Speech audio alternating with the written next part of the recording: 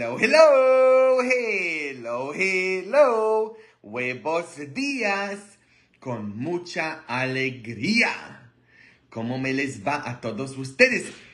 ¡Feliz dominguito! Espero que se la estén pasando todos. Súper bonito. Hoy, el domingo 14 de abril 2024, escuchamos nosotros en las lecturas de este domingo que los discípulos no reconocieron a Jesús. Cuando Él los visita en uh, su cuerpo resucitado, después de la resurrección, ellos no reconocen a Cristo. ¿Mm? En su cuerpo resucitado. Después de que Jesús fue crucificado en el Calvario, en Gólgota, pasó por el Vía Crucis, cargó la cruz, lo crucificaron, resucitó al tercer día y regresa a visitar a los discípulos para anunciar a ellos que Él ya haya resucitado. Pero ellos no lo reconocen. Cuando Jesús resucitó a Lázaro o a la hija de Jairo o el joven de Naín, nadie tenía dudas que si es Él. Pero ahora que Él haya resucitado, ellos sí tienen dudas, dice la Biblia. ¿Y por qué? Porque si Jesús resucitó de entre los muertos, para llegar a la resurrección, eso significa para ellos que el camino a la resurrección es a través de la cruz. Y eso no quieren. No quieren la cruz que primero tiene que estar el Calvario, la cruz, para llegar a la resurrección. Y ellos no quieren eso. Si Cristo resucitó y ellos son el cuerpo de Cristo, porque nosotros somos su cuerpo de Cristo, nosotros en el cuerpo de Cristo para llegar a la resurrección, también vamos a tener que pasar por la cruz. Si Él resucitó, ellos también en su cuerpo, que es suyo, van a tener que pasar por lo mismo. El calvario, el sufrimiento, por eso huyen ellos de Jerusalén, donde pasó la muerte de nuestro Señor Jesucristo. Ellos tienen miedo de la cruz. No quieren Gólgota. Y el camino de la resurrección es a través de la cruz. Es lo mismo en nuestra propia vida que nosotros no queremos la cruz, no queremos la crucifixión. ¿Mm? Una de mis santas favoritas de la vida espiritual dice que al final todo va a estar bien. Todo va a estar bien al final, pero no en el medio. En medio está la cruz. En medio están los problemas. En medio del camino está un camino arduo, duro, difícil. Pero al final todo va a estar bien. Dios resucitó a su Hijo Jesucristo. Dios no dejó que la cruz tendría la última palabra. Y así como Dios, nuestro Padre, resucitó a su Hijo, único, amado, Jesucristo, de dentro de los muertos, también te resucitará a ti. Esa es la esperanza de nuestra fe. Que la cruz no tiene la última palabra. La cruz es necesaria. Pero Dios a través de la cruz, a través del sufrimiento que es purificador, a través de los problemas tuyos y míos, Dios nos va a resucitar a la nueva vida, a algo mejor. Y en eso tenemos nosotros que confiar, que todo va a estar bien. De una manera u otra, todo va a estar bien en esta vida. Que Dios no te va a desemparar. Tengo mi café. Todo va a estar bien. Dios está en mi vida y Dios está en la tuya. Tú tienes problemas, obviamente. Todo el mundo siempre quiere hablar conmigo de sus problemas. Nadie se levanta en la mañana y glorifica a Dios. Todos se levantan glorificando a sus problemas. Tú te levantaste esta mañana pensando, en todo lo que te toca vivir. ¡Oh, mi matrimonio! ¡Mis hijos! ¡Oh! Todo chiripiorco, ¿eh? ¡No tengo dinero! ¡Ah! ¡Mi trabajo tan duro! ¡Mis enemigos! ¡Ah! La tengo dura, mi vida. ¡Ah! ¡Mira todo lo que me están haciendo! Cuántas víboras me rodean. ¡Ah! ¿Por qué no te levantas en vez de eso diciendo, Cristo está en mi vida, Dios está en mi vida, la Virgen María está en mi vida? Cristo ha resucitado. Él venció a la muerte. Lo peor que me pueda suceder en esta vida ya no existe. Cristo destruyó la muerte. ¿Quién me separará, dice la Biblia, del amor de Dios? ¿Quién? Nadie, ni nada, ni la misma muerte. Nada. Glorifica a Dios. Habla de Dios. No habla de todo lo que la gente te esté haciendo. No habla de tus problemas, de tus sufrimientos, de tus enfermedades. Habla de Dios. Tú eres su cuerpo, resucitado, glorioso. Y el cuerpo de Cristo tiene que pasar por lo mismo que pasó su maestro, la cruz. El que quiere venir, dice Cristo, y seguirme a mí, tiene que levantar su cruz todos los días y seguirme a mí. ¿Mm? Ah, pero tú quieres seguir a Cristo, pero sin la cruz. No quieres la cruz.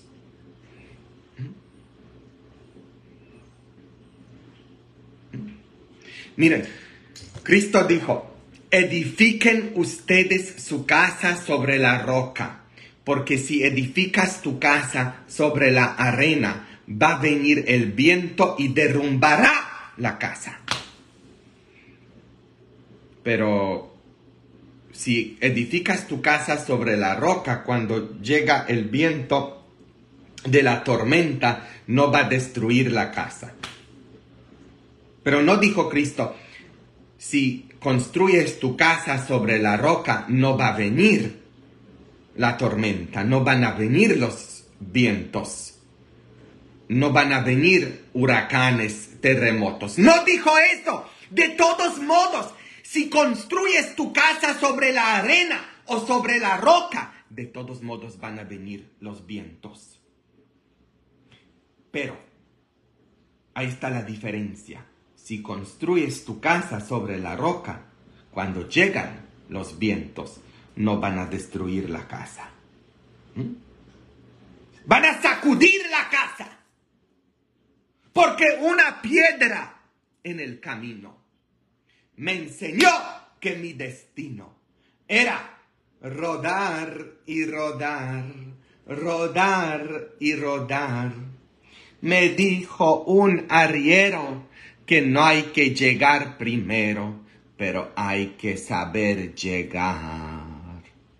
Con dinero y sin dinero, yo hago siempre lo que quiero. rodar y rodar. Seguir caminando. Ser cristiano es estar en el camino. O sea, seguir caminando. Y nosotros seguimos caminando siguiendo la luz. Por eso en el tiempo pascual lo esencial es el sirio. Si vas a la iglesia en este tiempo, si vas a la Santísima Misa, lo que está prendido en el tiempo pascual es el sirio. ¿Por qué? Porque ¿qué le dijo un sirio a otro sirio? ¡Sonríe! No estés tan sirio. ¿Y qué te hace sirio? Tus problemas. Todo lo que te haya tocado vivir. Eso te hace sirio. Y el sirio te quita lo sirio. Por eso yo tengo estos sirios bendecidos, exorcizados en adamcotas.com. En estos días he traído yo más para ustedes, más sirios. Son de México. Arriba México. Estos sirios no son de China, es cera de abeja mexicana. Bendecidos, exorcizados en mi sitio del internet. Pidan el tuyo porque es el tiempo pascual. Y ahorita viene el calor. Y ya no voy a estar yo mandando sirios a ustedes. Ya pasando este tiempo de la Pascua, ya no voy a estar mandando sirios. Ya no voy a traer más sirios de México por meses. Porque em, para traer los sirios em, tiene que estar em, la temperatura no más de 80 Fahrenheit o más o menos 25 centígrados. De otra manera, se derritan en el camino de México a Estados Unidos. Por eso, si ustedes quieren su sirio en este tiempo pascual, tienen que pedirlo ahorita. Todo está en adamcotas.com, mi sitio del internet. Y si tienen preguntas, me pueden textear a 702 273-8679 y les puedo yo contestar sus preguntas preguntativas con respuestas responsativas a ustedes. Pero pidan su sirio antes de que se me acaben los sirios pascuales o de la Virgen de Guadalupe, súper importantes para todos ustedes en este caminar. La Virgen de Guadalupe es lo máximo para nosotros. ¿Por qué? porque la Virgen de Guadalupe nos trae a Cristo. Cuando tienes a María, tienes a Cristo. este sirio me encanta porque trae a la, Virgen de Guadalupe y los tengo para ustedes en adamcotas.com. Pidan el suyo antes de que se me acaben.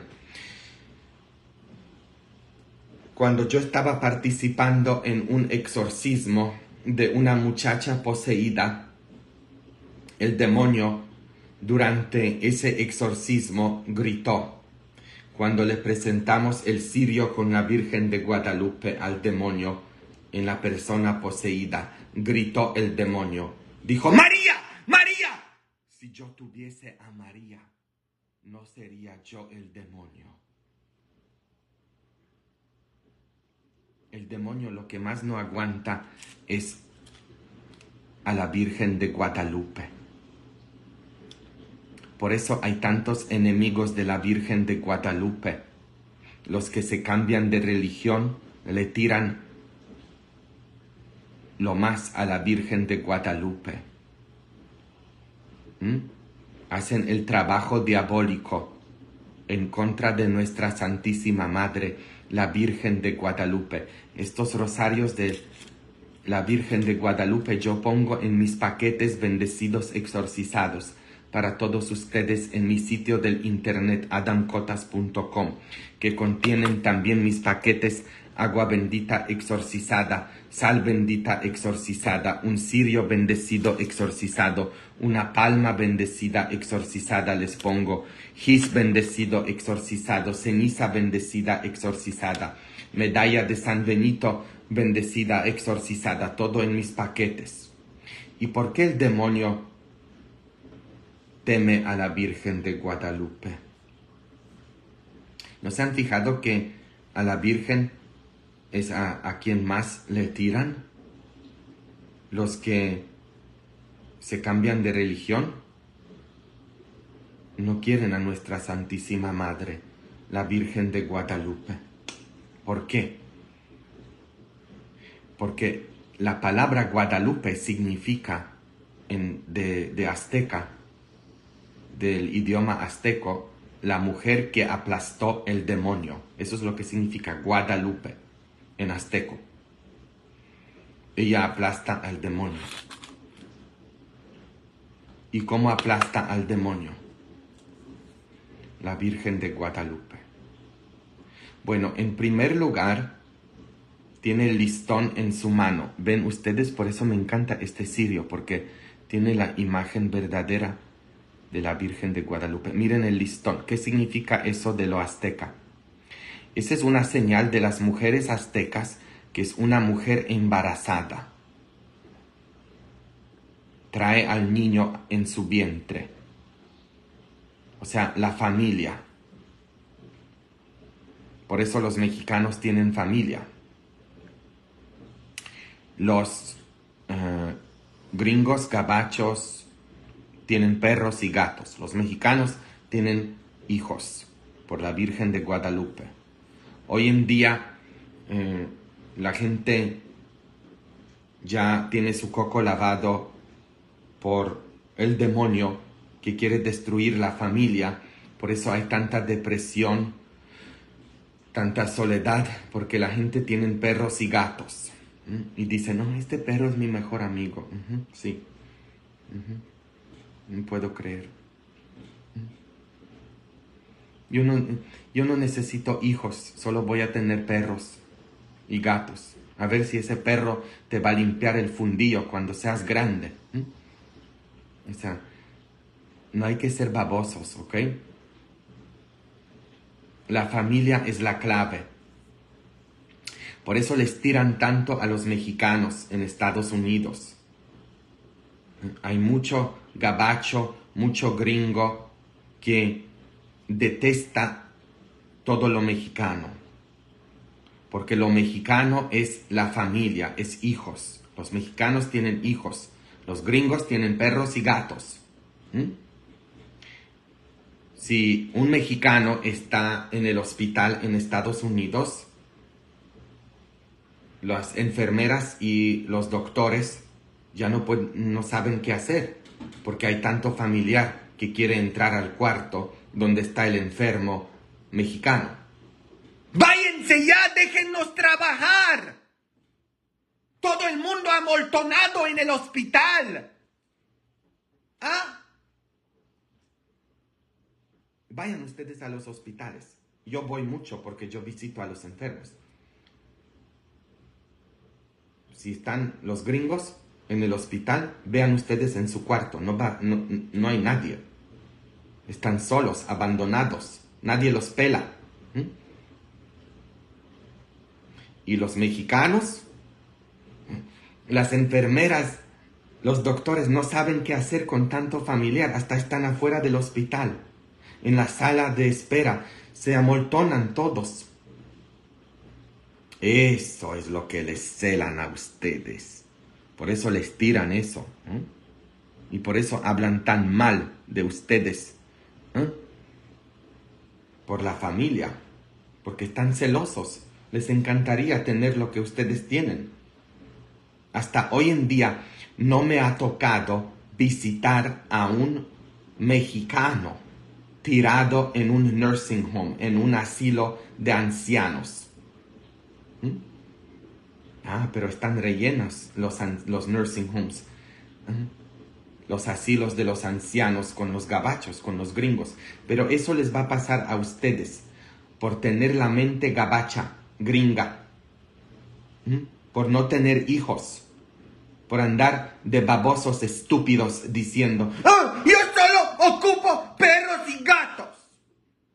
¡Ah! Estúpida la gente. Me caen gordos cuando dicen, yo no quiero hijos. Pinche gente babosa. Me caen gordos porque tienen una mentalidad diabólica. El demonio destruye la, destruye la familia. ¿Ah? Agarra la onda. Cuando ustedes tienen sus fiestas y tienen vecinos gringos, siempre hablan a la poesía. ¿Por qué? porque ustedes prenden la música a todo dar. Y ustedes hacen eh, mal en no invitarlos, porque si quieres que los vecinos gabachos gringos te dejan tener tu fiesta, invítalos. Invítalos, porque ellos también quieren la fiesta. Y esta es la Virgen de Guadalupe. Tiene su rodilla doblada la Virgen de Guadalupe. Es una señal azteca que es una mujer que está danzando, bailando la cumbia del padre Adam, de Marisol Castro, la señora de la canción ranchera. ¿Ah? Es una mujer que está bailando. Por eso que viva la fiesta, que viva la pachanga. ¿Por qué los monos no van a las fiestas? Porque son pachangas. la familia y la familia se une, pachanguea, hace la fiesta. ¿Mm? Miren, mi tía Bárbara, todo está en mi YouTube, el año pasado de la visita con mi tía Bárbara en Alemania. Mi tía Bárbara trabaja en un asilo de los ancianos en Alemania. ¿Ok? Me llevó ella a ese asilo, porque en cada pueblo en Alemania hay un asilo de ancianos. ¿Mm? Y allá en Alemania el gobierno alemán paga a las prostitutas para que le den servicio a los ancianos en los asilos. ¿Mm? Un anciano en Alemania tiene derecho del servicio. ¿Mm? La compañía, obviamente un ancianito que tiene 80 o 90 años, pues no va a poder, pero está buscando el calor, la ternura, el apapachamiento. Por eso tienen eso. Eh, me encontré yo en, en el pasillo con una muchacha de Rumania, que es una prostituta allá en Alemania.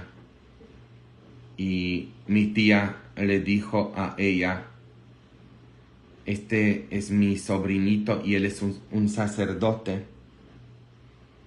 Y ella me vio y me empezó a decir que ella también tiene la primera comunión, que tiene la confirmación, me dijo la muchacha. Y yo tenía en ese momento mi rosario este de cajita que pongo en mis paquetes que están en adamcotas.com y saqué yo el rosario de la Virgen de Guadalupe y huele a, ay, qué rico, huele a rosas, tiene un aroma que nunca se quita. Estos son rosarios muy especiales que pongo para todos ustedes con el aroma divino. de rosas, porque cada vez que se aparece la Virgen huele a rosas. Miren, la Virgen de Guadalupe. Y le di yo este rosario a ella, a esa muchacha prostituta. Y ella agarró el rosario y comenzó a llorar. La muchacha prostituta. Luego platicamos nosotros, ella ha tenido una vida muy dura, tiene su familia en Rumania. Rumania es un país muy pobre en Europa y a ella pues la trajeron con falsa, falsos pretensos a Alemania diciéndole que iba a trabajar en un restaurante, pero era un antro y allá pues la introdujeron al perico y se está periqueando ella. Y por eso pues se metió en esta vida de prostituta. Pero yo le dije, mi amor, Dios te ama mucho y poquito a poquito mi tía dice que ella está yendo a un grupo de 12 pasos. Porque yo le di diferentes recomendaciones.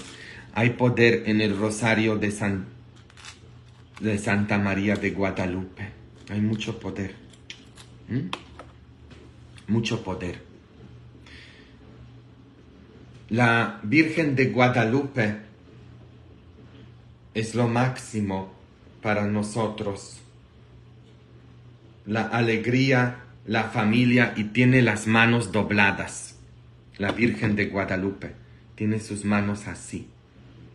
La oración.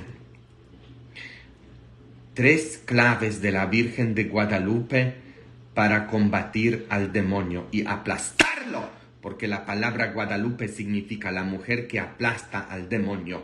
¿Cómo lo aplastas?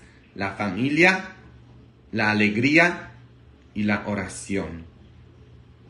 ¿Te hicisteis tus oraciones de mañana? No tienes que rezar tan mucho. En el nombre del Padre, del Hijo, del Espíritu Santo. Amén. Que el Señor bendizca mi día. Estás en mi vida, Señor. Todo va a estar bien. ¿ah? Ustedes no saben el poder del rosario. El rosario es lo más poderoso. Súper poderoso. La cruz de San Benito bendecida, exorcizada, todo lo tengo para ustedes en adamcotas.com. Para que vayan a mi sitio del internet y pidan su cruz de San Benito, sus cirios, su rosario, su paquete. Todo lo tengo para ustedes en adamcotas.com. El poder del rosario. El demonio no aguanta al rosario. ¿Tienen ustedes un rosario en su coche? Bendecido, exorcizado. ¿Cuántos han sido salvados del chocamiento? No les pasó nada. Hay muchos testimonios en mi YouTube, arroba adamcotas.com. ¿Mm? Nosotros somos judíos. Católicos, cristianos, judíos. Los judíos siempre tenían la mesusa, lo que tenían que tocar en su casa como un amuleto judío, porque todas las demás religiones tenían sus amuletos. Por eso Dios les dio la mesusa a los judíos que tenían que tocar para agarrar la energía mm, divina, protectora. Así funciona todo esto de mi paquete, bendecido, exorcizado. Mm.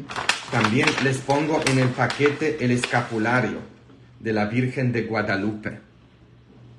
A todos ustedes en mi paquete. Mi paquete contiene todo para ustedes para que tengan la energía divina, bendecida, exorcizada, protectora. Todo está en adamcotas.com. Si tienen preguntas sobre mis paquetes, los sirios, las cruces de San Benito, me pueden textear a 702 273 8679. El escapulario es tan poderoso porque la Virgen María hizo unas promesas que ella no va a desamparar a nadie que tenga su escapulario. Muy poderoso.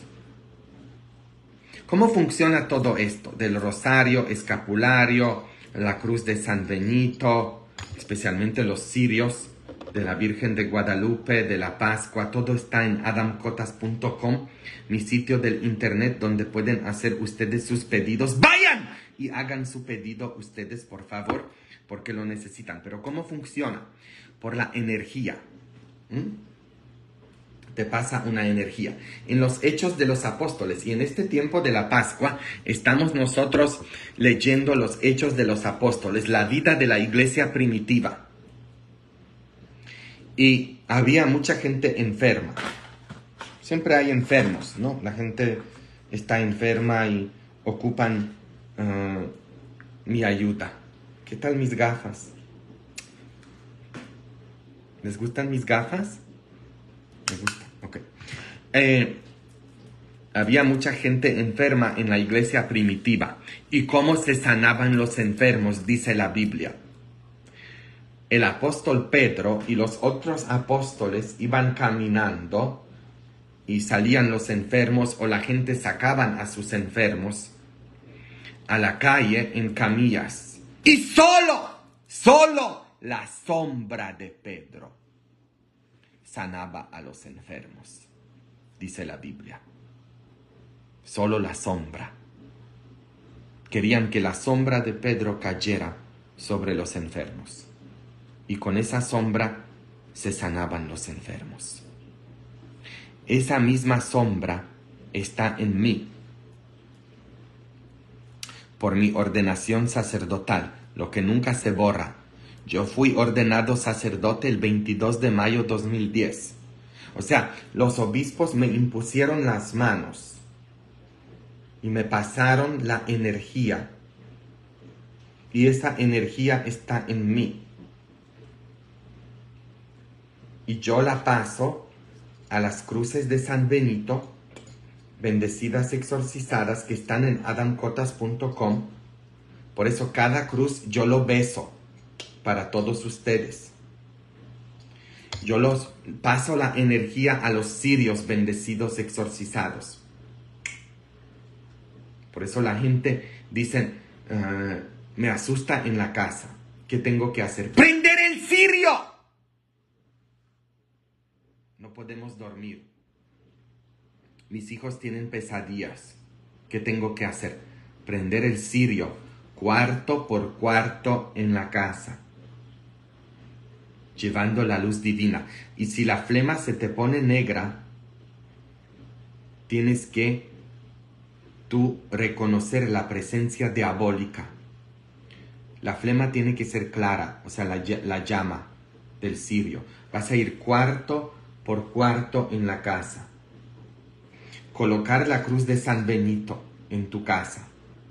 Luego, en mi paquete está agua bendita exorcizada ustedes combinan esta agua con más agua en la casa y van a riegar esa agua por dentro, por fuera de la casa. También denle a sus esposos, a sus hijos, a sus familiares, en su comida, en su café en la mañana. Dele poquito de agua bendita exorcizada.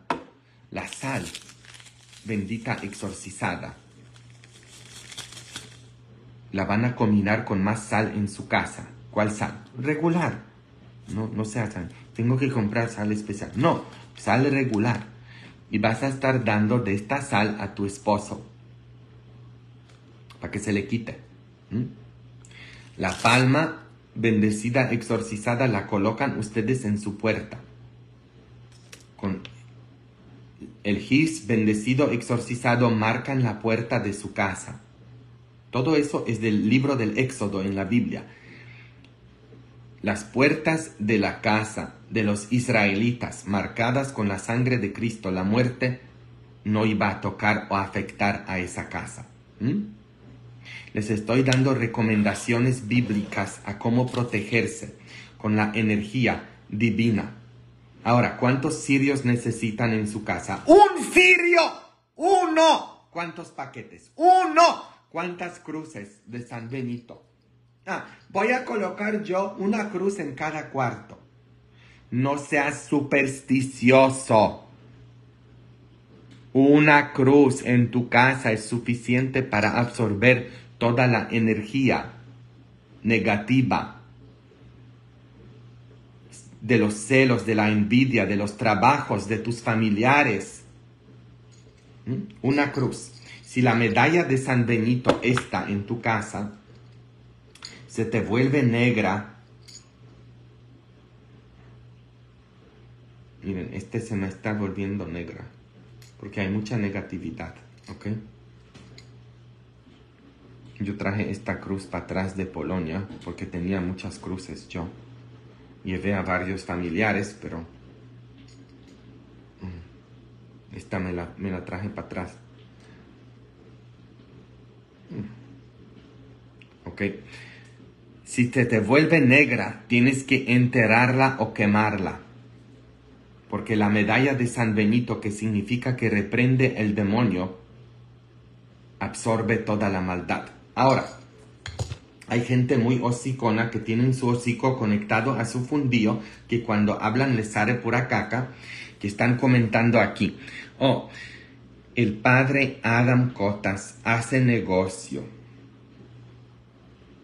¿Ustedes creen que yo me voy a condenar por 100 dólares o por 200 dólares. Vender algo bendecido, exorcizado. Vender los cirios. Vender cruces de San Benito. Vender rosarios. Es un pecado gravísimo. Yo conozco la teología. Cuando la gente que comenta aquí van, yo ya fui y vine.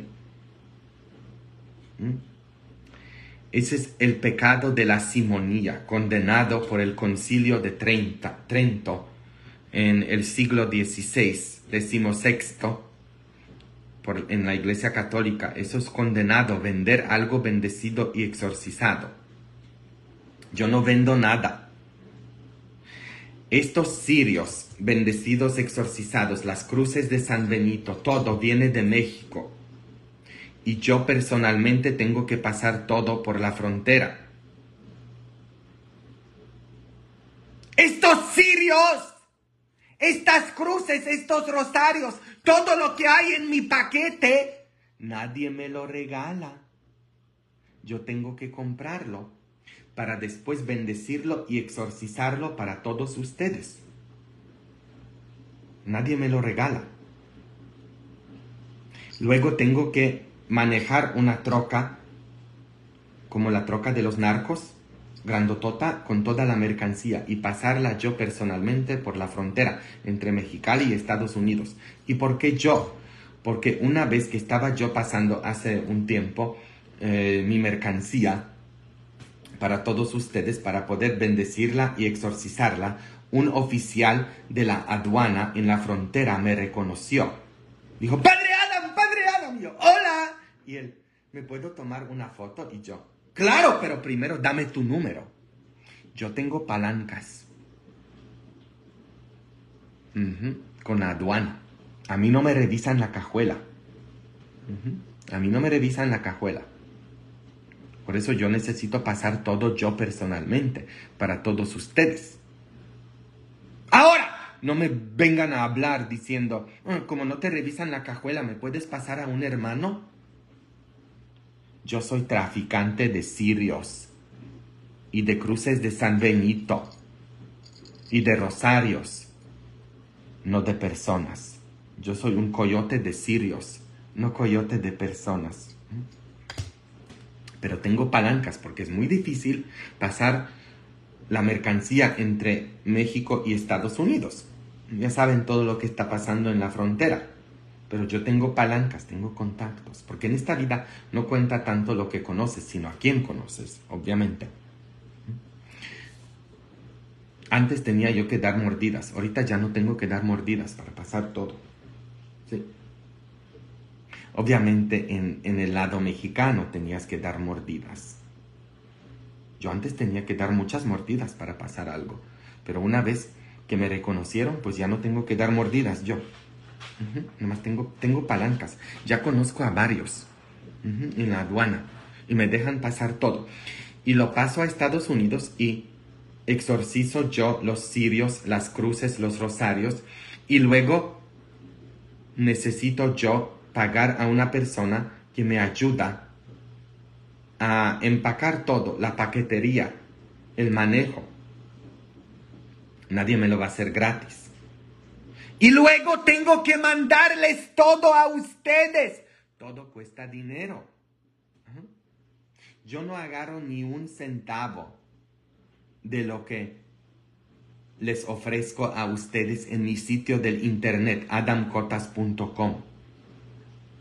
Yo no me voy a condenar por sirios o paquetes o cruces de San Benito. Todo esto surgió porque ustedes tienen la necesidad, porque tienen sus casas embrujadas por sus familiares, por sus amigos. Les asusta, tienen pleitos, sus hijos deprimidos, sus esposos borrachos o drogadictos o coscolines andan de berija suelta. Ustedes están desesperados, no saben qué hacer. Y ustedes ocupan la energía divina, bendecida, exorcizada, que está en mis paquetes.